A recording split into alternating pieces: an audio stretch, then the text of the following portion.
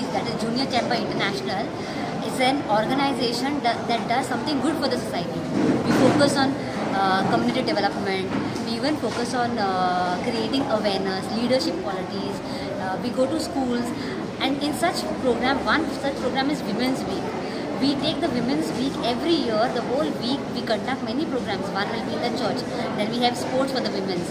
Uh, we also conduct classes like bakery classes for the ladies, where we called chef last year, and this year too he will be coming and he will be actually teaching the ladies how to do bakery course and he himself will be employing employments he will be giving them taking the orders from them so women's week as a JC, member and a uh, president of JCI Vasco we are proud to have uh, JC uh, women's week to be conducted in association with the uh, school as well as father.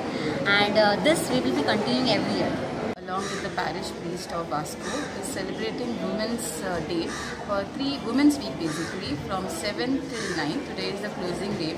And uh, for this past three days that is from 7th uh, we have been organizing various competitions for women of Vasco uh, such as cooking competition, mehndi uh, competition, uh, hairstyle talent competition, wealth out of waste. And uh, today we have a very special day that we are felicitating five women of some substance, that is who are excelling in the various fields like education, uh, social, cultural, then who is very good at, do, at house uh, in the talents. So five such women have been felicitated and sports. So these are the women of substance who have been felicitated for their hard work. And also along with that, we are uh, we are going to do the prize distribution today, and uh, we also have functions for the children.